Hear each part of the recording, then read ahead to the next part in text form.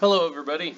Sorry I'm not here today. I'll also not be here on Tuesday, so you'll have uh, another joyous lecture from me.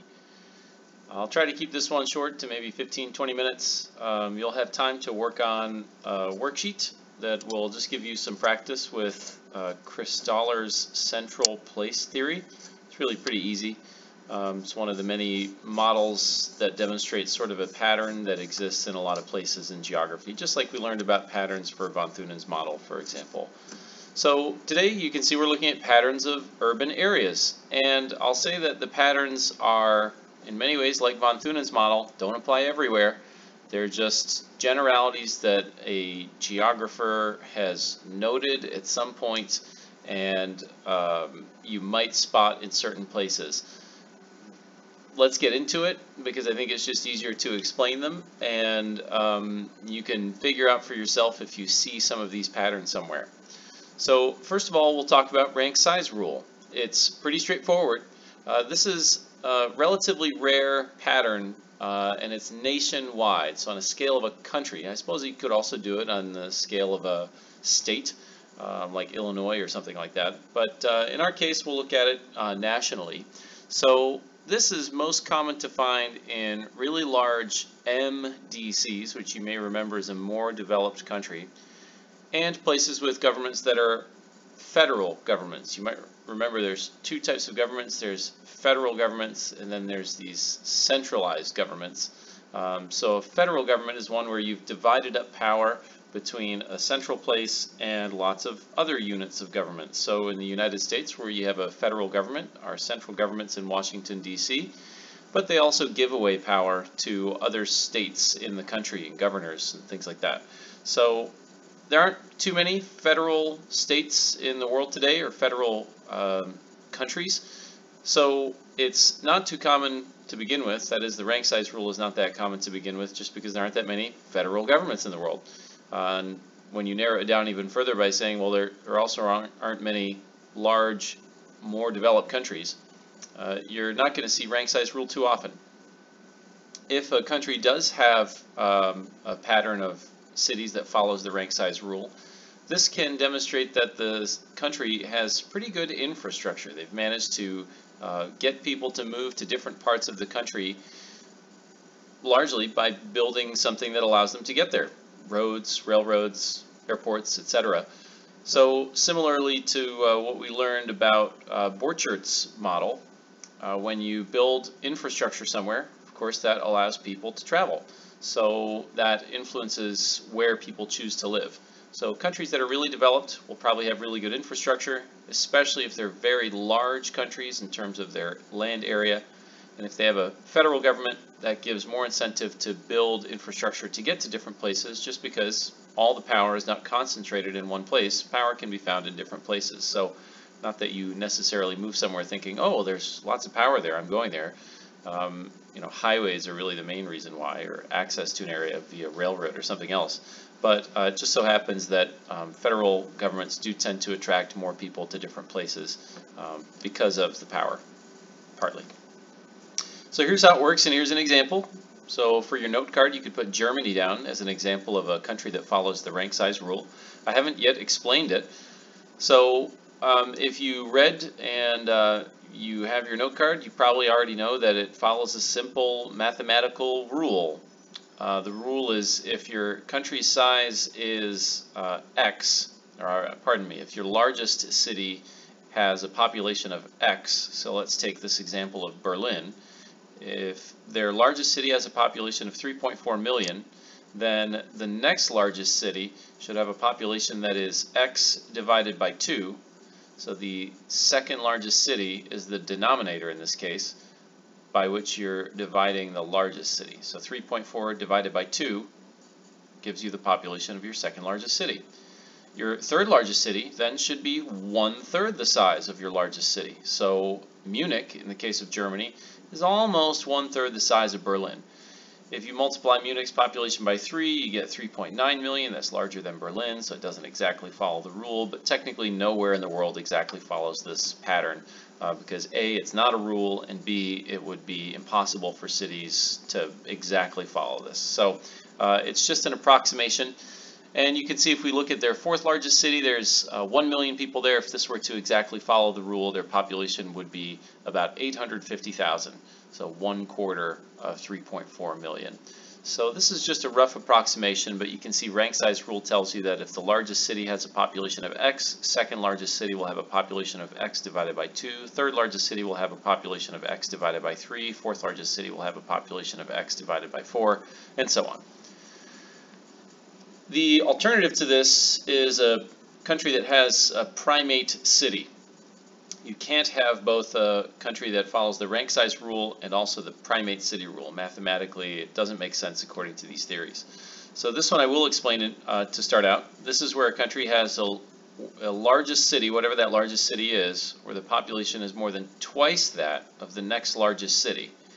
And on top of that, that city that is this largest by at least double or more than double, uh, also has some sort of political, social, or economic influence or pull.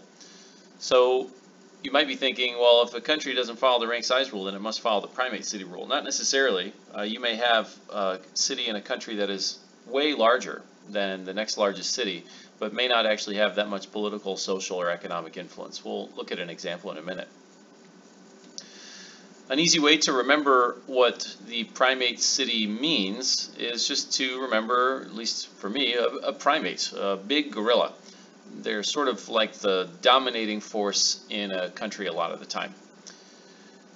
These are most common in less developed countries and places with unitary governments. The power in a unitary government is centralized in one place so a lot of people are attracted there because that has a big amount of pull for people that want connections to the government. There's a lot of money in those places, a lot of tax money often. Places in unitary governments, you might remember, tend to get a lot of economic investment, while places outside of the main city in the unitary government don't tend to get as much investment because, again, power is not really distributed that much. So this uh, idea of uh, unitary governments tends to lead to more primate cities uh, in less developed countries. You end up seeing a lot of primate cities in places that were once colonies. So if you uh, think of like, um, a good example. Uh, I guess you could say India, um, but uh, India has a lot of big cities. So I'll keep it to like Nigeria. Nigeria really has one big, very popular city, and this is how the British wanted it. They wanted to concentrate their power in one place.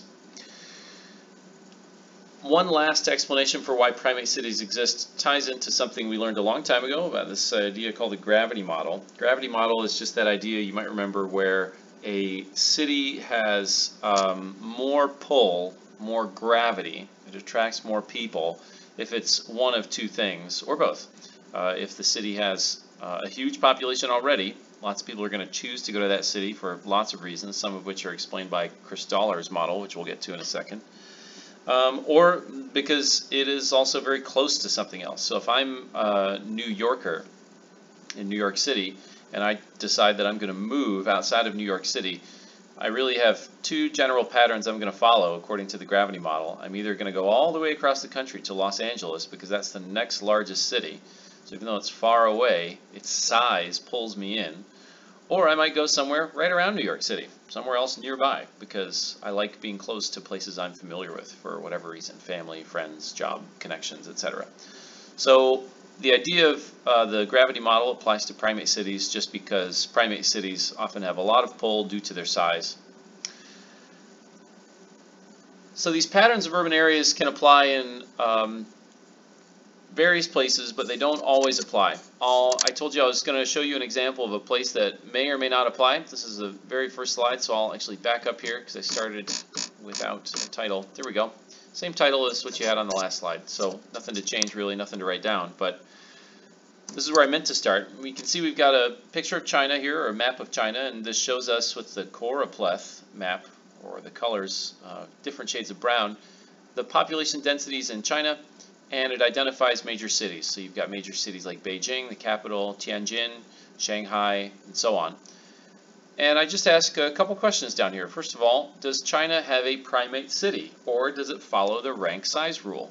I told you that it doesn't have to be one or the other. It certainly can't be both, but not every country follows the rank size rule or the primate city rule. So I've given you some data here about Shanghai cities, or pardon me, China cities.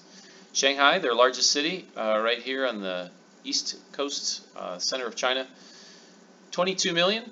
Beijing has 11 and a half. Boy, that seems like that's pretty close to rank size rule. So let's check out the third largest city. Well, it doesn't follow. If this were the rank size rule, what would the population be for Tianjin? It would be somewhere around, if that's the largest city, that's the second largest city. This would be the third largest city, so this would be about one third the population of Shanghai. So roughly one third of that would be about seven and a half million. So it's way above that. Guangzhou should be uh, way smaller than it is if it follows rank size rule, and it doesn't. So does China have then a primate city? Does it have a city that is at least double, more than double, the population of its second largest city? Uh, no. If you double 11.5 million, you've got 23 million. So Shanghai's not a primate city for the population rule.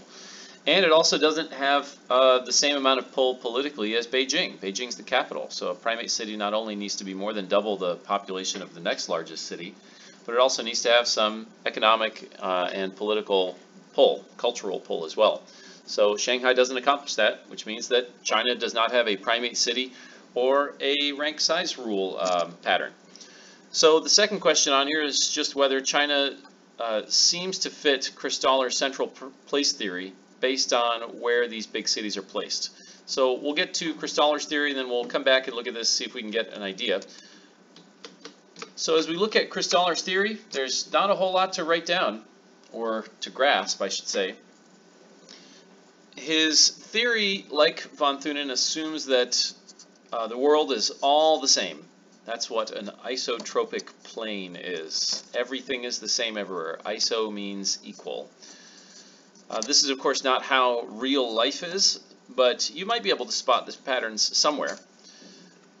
In this perfect world that Christaller envisions or draws his model on, this isotropic plane, he believes that the perfect shape for uh, this model is a hexagon because you can easily match up hexagons and leave no empty space. If instead of a hexagon he chose to um, demonstrate his model with circles, you obviously can't make all edges of the circle or all parts of the circle match up with another circle.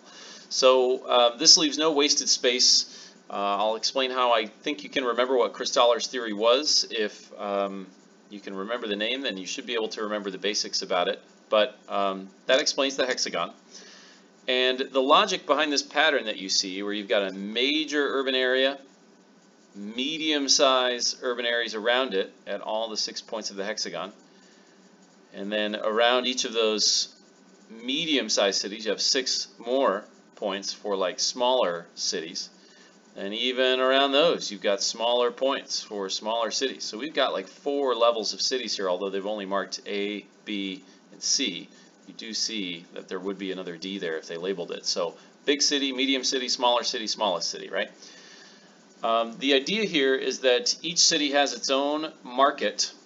So for city A, here is where their market is. It's a huge area. City B has a smaller market. City C would have uh, an even smaller, pardon me, B's market is this yellow line uh, A's market, I've already screwed this up, A's market is this huge red area, pardon me. B's market then would be this yellow area. A C-sized market would be an even smaller hexagon. Of course, D then, have, they haven't even drawn on here, would be way smaller. So how did they come up with these ideas, or how did Christaller come up with these ideas? Well, he believed that every service or product had a few um, tenets or characteristics that would sort of help determine uh, how often it would be provided in a city, and this would sort of help determine what uh, a market might look like for a big, small, or medium-sized city or whatever. So I'm jumping ahead a bit, but if you imagine a service like um, something common like a gas station, uh, how many people do you think you need to support a gas station? For your town to have a gas station, I mean, I've been through some small towns, you can easily have a gas station with I don't know, a thousand people. So that's the threshold for your town having a gas station. So if I'm asking you a question of, well, how many gas stations will City A have? This is a huge market area. I couldn't give you a number, but of course they're going to have tons of gas stations spread through all throughout here. City B will have less in this yellow area. City C will have even less. And City D may not even have one, although I suppose it's possible they would. So that's the threshold. Um, if I give you another example, uh, like a um, an aquarium. Having an aquarium is not very common. You need a lot of people to be able to support an aquarium. So uh, Chicago has one, and we have two and a half million people, including the metropolitan statistical area. We're around nine million people, and we can only still support one aquarium. Maybe if we doubled our population, we'd get a second aquarium. I have no idea. The other characteristic then for these services is how far will people travel to go and experience it or get access to it. This is the range. So in the case of like Chicago's Shedd Aquarium, would you drive 30 miles? Do you, or do you think there are people who would drive 30 miles to get to the Shedd Aquarium? For sure. People drive way farther than that to get to the Shedd Aquarium. I remember years ago I learned that the IKEA that's in Schaumburg attracts people from as far away as Nebraska and Kansas. People take buses to get to the IKEA in Schaumburg. Wow, what an exciting road trip that would be. So some services have a huge range and a huge threshold. Some may have a huge range and a low threshold. Um, so for example, a Ferrari dealership, this is an example I'll get to in a second, but a Ferrari dealership uh, may have a very small people that will support it because they're incredibly rich. You don't need to sell a lot of Ferraris in order to stay in business. Um, and they're not that common, so people may drive a long, long distance, have a huge range to go get to a Ferrari dealership.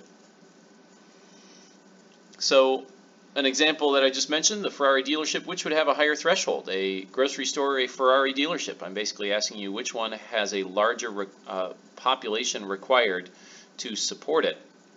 A Ferrari dealership uh, would seem to have a pretty low threshold. In fact, I just sort of described to you that um, it would it would only require a few people. So I guess I should backtrack because I've already um, gotten this backwards in my head. This is not going to help you at all.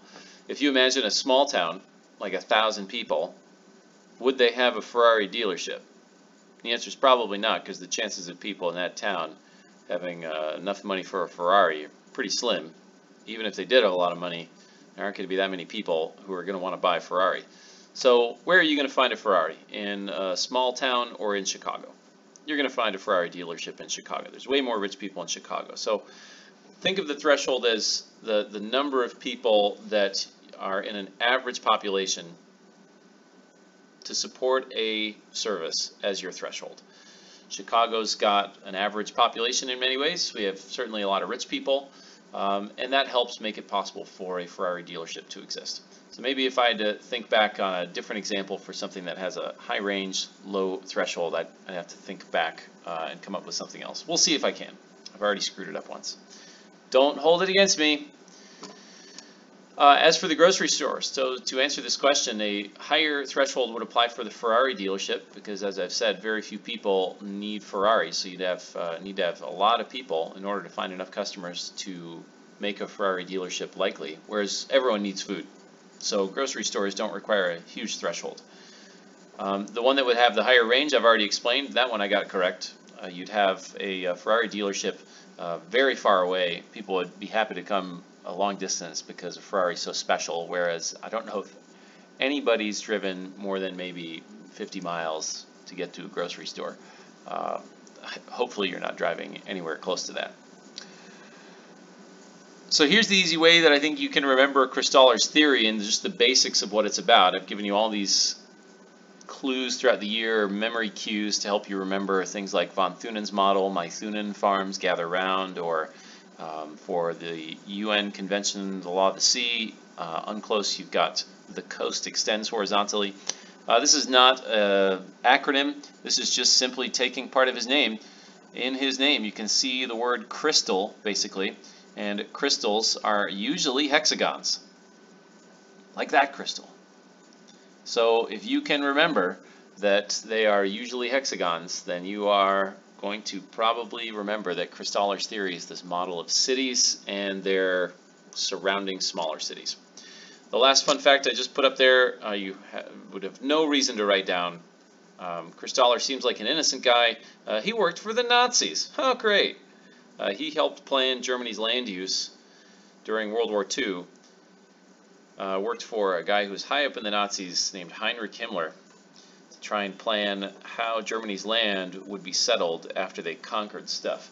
So, uh, not that we have time to get into it and you're probably not interested, but geography has a long history with uh, connections to government and militaries. Um, so that's just one fun, weird example. No way will you need to know that for the AP test. As I mentioned, you've got a worksheet to check out um, to give practice for Christaller's central place theory. I'll just go back one last slide to the very beginning to see if China seems to fit Christaller's central place theory. So where's their biggest city? We said it's Shanghai. Well, it's certainly in the middle of their coast here, so in some ways seems to apply we can't assume that China is isotropic. We you know we've got a desert here and a desert here, and mountains here, so it's not all the same everywhere. There's coasts and rivers in different places. But where's their next biggest city? Well, Beijing is up there. Is it about the same distance from Tianjin? No. Tianjin is right next to it. So that in no way seems to follow much of Christaller's theory. But Guangzhou is down there. That's almost the exact same distance between those two. So there seems to be some consistency here. They're almost the exact same size. So there's some truth to uh, Christaller's theory. And uh, then when you consider maybe some of the geographic features, maybe it makes sense to have Tianjin a similar size. Highly doubt it, but you get the general gist, hopefully, of how you can analyze this stuff. Uh, all right, I'll end it here. Practice on that worksheet.